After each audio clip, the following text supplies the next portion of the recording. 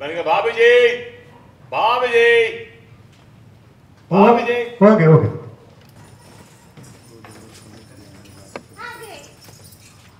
भाभी जी पीछे बैठिए और बाहों में भर लीजिए। आप क्या बोले? मैं भाभी जी ज़ोर से पकड़ लीजिए पीछे बैठ के। सड़क ऊबड़ खाबड़ है। गिरने का खतरा बना रहता है भाभी जी नहीं। नहीं उबड़ खाबड़ रास्ते से नहीं जाएँगे। हम आपको चिकने रास्ते से लेकर जाएँगे। जाकर कटी से नहीं अफीम कोटी के रास्ते से जाएँगे ना बहुत अच्छा चिकना रास्ता है। अगर कटी का रास्ता भाभी जी बड़ा ऊबड़ खाबड़ था बड़ा मज़ा आता।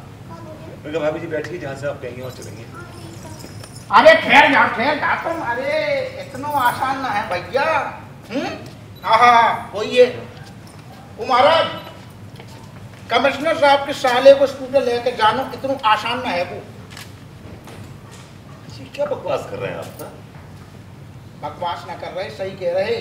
सब एक तो चोरी ऊपर से सीना चोरी तुम तुम इतने नीचे गिर जाओगे हमने सोची ही ना थी।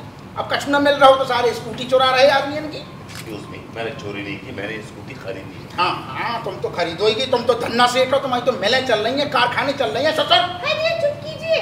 कहाँ बोले जा रहे हैं? हाँ दारोगा जी वो हमने सामने टीका मल खान और टिल्लू भैया से ई स्कूटर खरीदे हैं। लड्डू के भैया पाँच हज़ार उधार भी दिए रहे हैं उनको। एग्जैक्टली क्या तमाशा लगा रखा है? क्या ये सब? तो मार्केट नहीं गई क्या अब तक?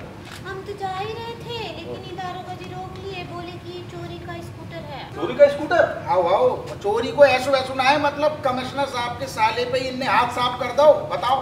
एक्सक्यूज मी मैंने चुराया नहीं है मैंने उन से खरीदा है। टीएमटी से खरीदा है मैंने। तुम यार वैसे तो बड़े ज्ञानी बनते हो। तुम्हें दो टका की ससुर अकल नहीं है कि लॉन्डन से पूछ लेते जो स्कूटर कहाँ से टपक पड़ो उनके पास? अरे इन्हें तो मुफ़्त का मलीदा पहनने की वैसे भी आदत है। आओ आओ लेकिन जो बालू मलीदे ने महंगो पड़ जाए फ़िलहाल तो हमें ज्ञान नहीं देने। तुम चलो चलो थाने चलो सीधे। You are under arrest Tiwari दीजिए यार।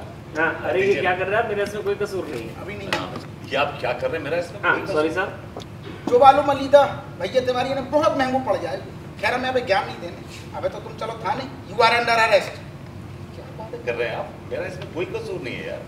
कसूर है। कि ना वो करेगी थे अदालत। फ़िलहाल तुम चलो यार।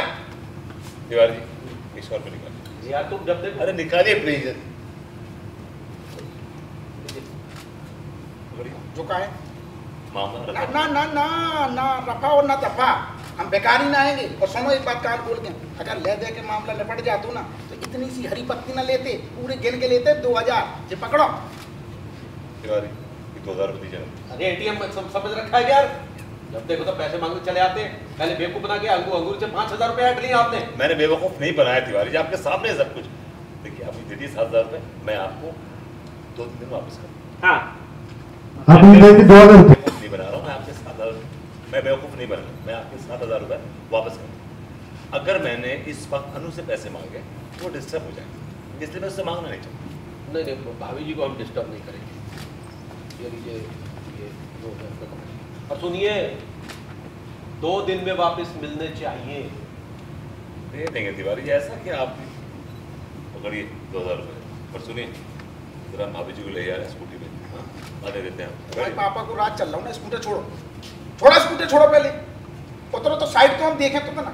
छोड़ो। अरे ढंग से छोड़ो ना यार। इस जुर्म में? इस जुर्म में अरेस्ट किया जा रहा है क्योंकि उन्होंने जो है हमसे पाँच हज़ार रुपये ऐड कर एक स्कूटर ख़रीदा और बाद में वो स्कूटर जो है वो चोरी का निकला और वो भी कमिश्नर साहब के साले का स्कूटर था वो। और आपसे ही पैसे ले लेके उनको ये कर रहे हैं हाँ यही है मेरे समझ में नहीं आ रहा मतलब बीच में हमें एटीएम मशीन समझ रखा है इन्होंने। जब देखो तब अंगूरी को बेवकूफ़ बना देते हैं अंगूरी हम हमें बेवकूफ़ बना लेती है और पैसे जो है मेरी जेब से जा रहे हैं इनका कुछ नहीं जा रहा। अंगूरी जी के बारे में बात करें तो आप उनको उनके साथ मार्केट जाने के लिए कैसे मतलब नहीं वो इसलिए क्योंकि उन्होंने कहा कि भाई स्कूटर है ये रिक्शा से जाएँगे अच्छी नहीं लगती तो मैंने विश्वास किया। मैंने कहा ठीक है पड़ोसी हैं कोई बात नहीं रिक्शे में ये स्कूटर पे ले जाएँगे और ले भी आएँगे। लेकिन ये तो मतलब चोरी के जुर्म में फंसाने के चक्कर में खुद ही चोर हैं ये। उनका सारा प्लान ही चौपट हो गया। आपके अभी होगा चौपट। घूमने ही चले गए साथ में उनको छोड़ के इसके बारे में क्या बोलना चाहिए हाँ ठीक है ना फिर अब ऊँट किस करवट बैठाई आपने देख लिया। थैंक यू एक आईडी चेक।